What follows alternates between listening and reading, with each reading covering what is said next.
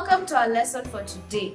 So, remember, last time we talked about how God saved Shadrach, Meshach, and Abednego from burning in the fire, and how God is powerful and strong, and we should always choose to remain loyal to God. So, now let's see what happens next when Daniel, Shadrach, Meshach, and Abednego continued living in Babylon. The king's life was going okay and he was happy and everything was fine.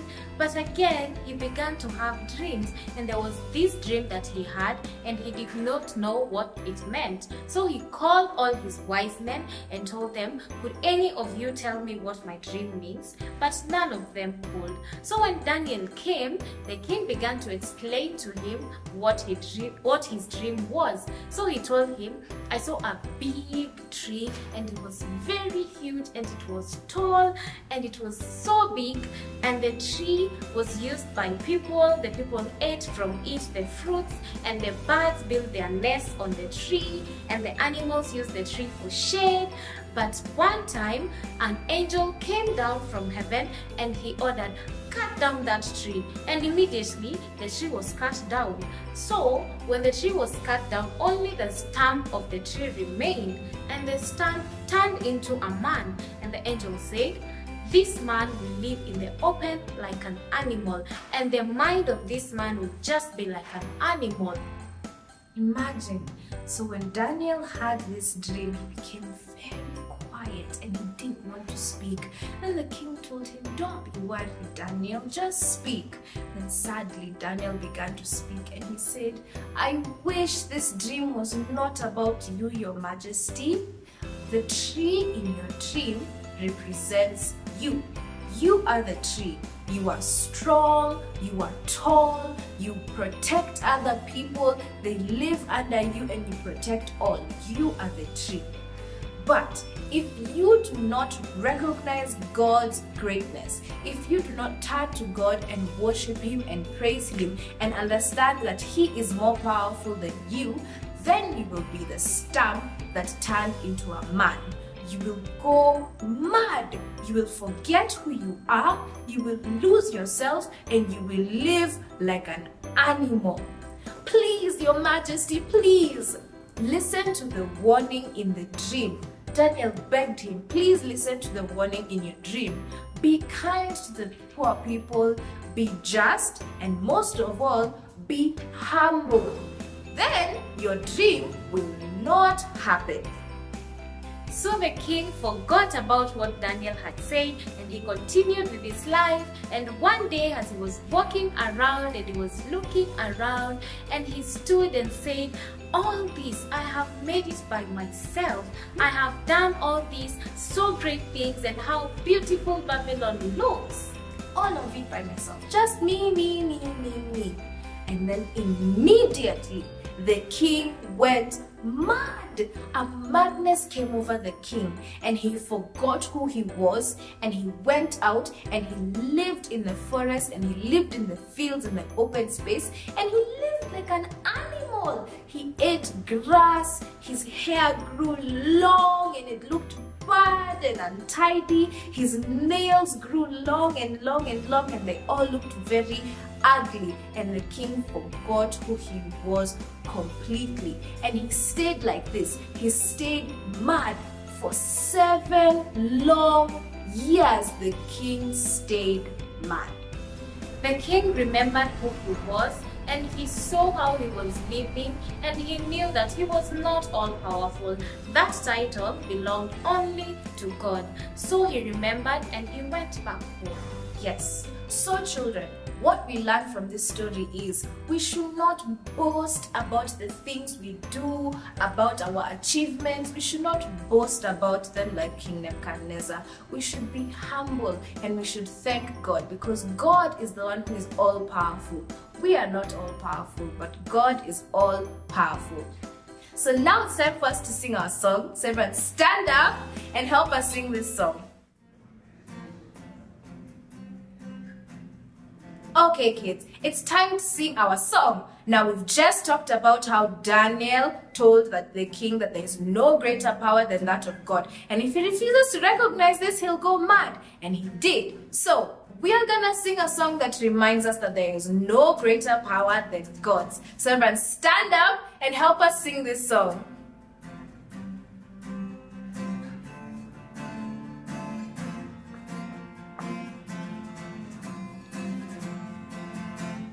There's no greater power than the power of our God.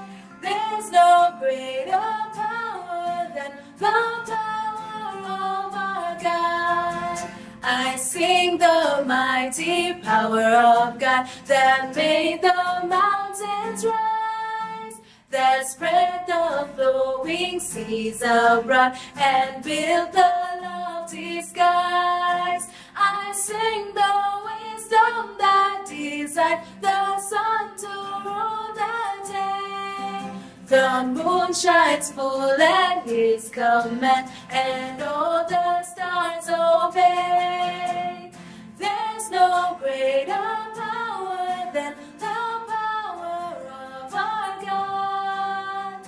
There's no greater power than the power of our God.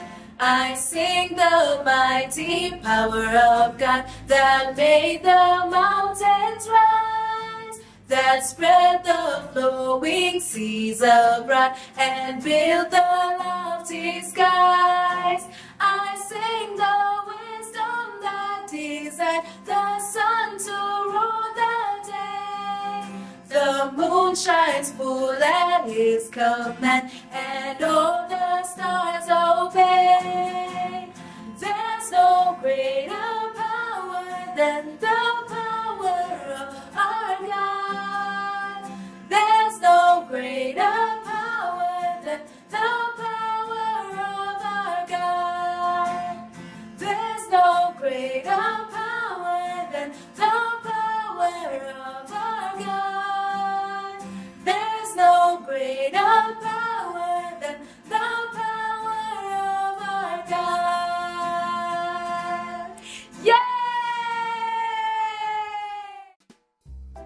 Okay, kids, so we've just talked about how Daniel told King Nebuchadnezzar that your dream means that you will go mad if you do not accept God and recognize Him as great and all powerful.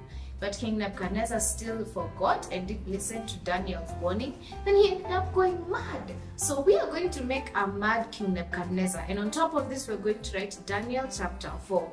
And here we're going to write, Do not forget God's word. God is all powerful.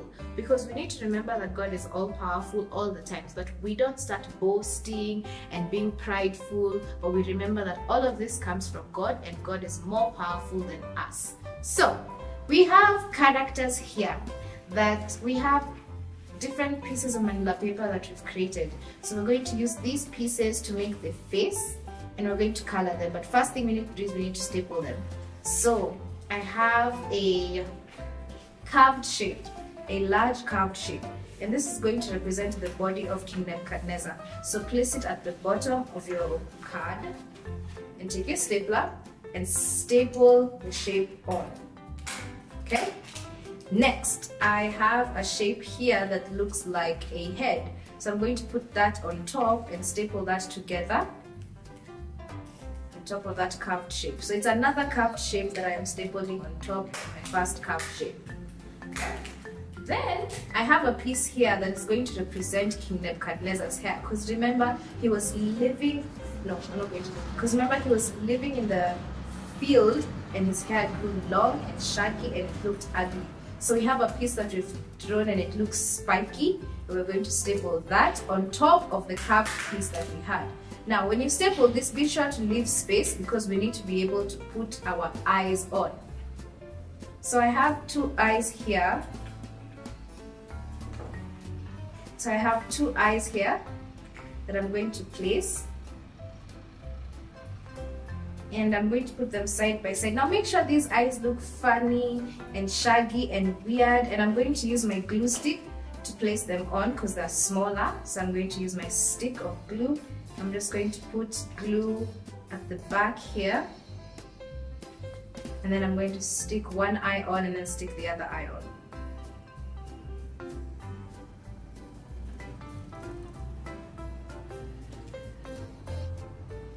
Stick one eye on and stick the other eye on.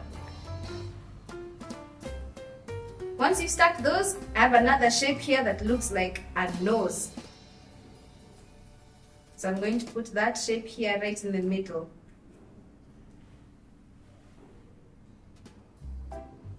So that's my nose, it's going to be right in the center eyes.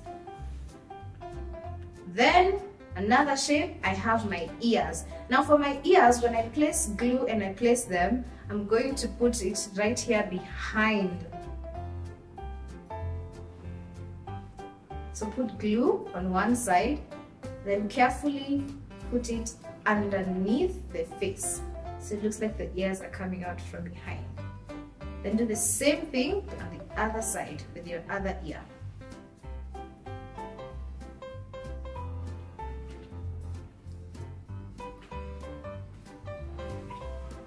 Okay, so other things we need to add in is we need to add in hands. We need to give King Nebuchadnezzar hands. So I have here a shape that looks like a hand.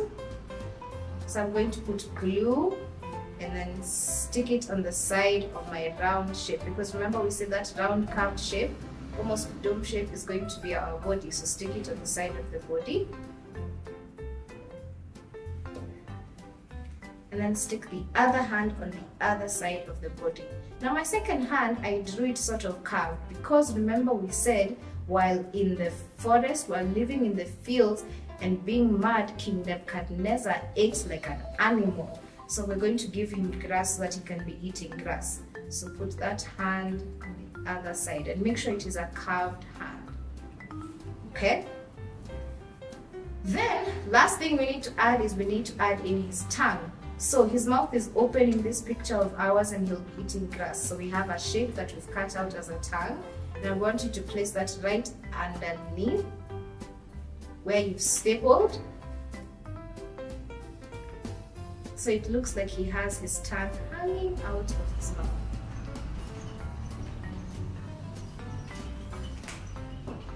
Okay, so now we have our shape.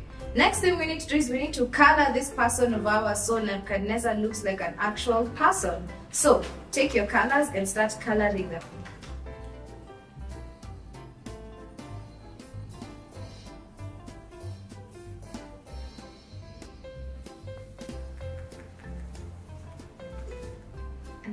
Last thing we're going to add is we need to add his grass. So after he's all colored, we need to add grass. Because remember we said King Nebuchadnezzar was eating grass while he was in the fields. So we have is we have green manila paper that we've cut into strips. And we've cut into shapes and we're just going to cut it and put it in his mouth almost like he is eating grass. So make sure the strips are thin.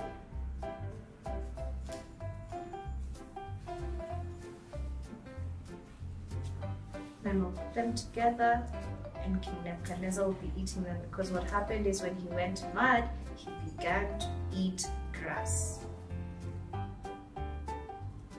So just glue the grass onto his hand, on top of his hand, almost like he's shoving it into his mouth to eat it.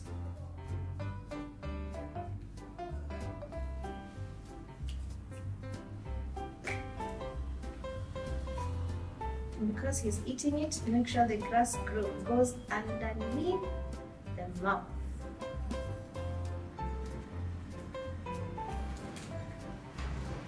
Okay.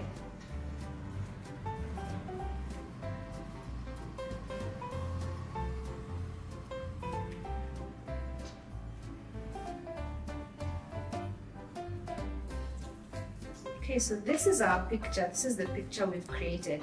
Next thing we need to do is we need to write down what this picture is supposed to be showing us. So take your pen and write Daniel chapter 4, which is where we find the story of King Nebuchadnezzar going mad because he didn't listen to God's warning.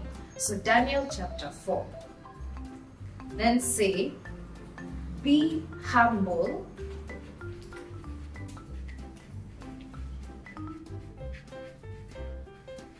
and recognize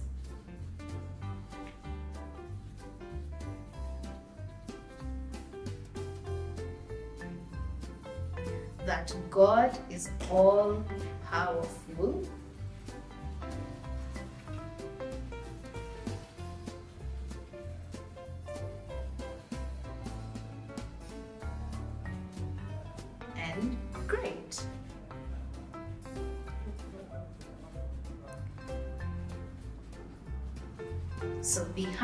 and recognize that God is all powerful and great. So this is our craft for today, and whenever we see this, we remember King Nebuchadnezzar and how he went mad.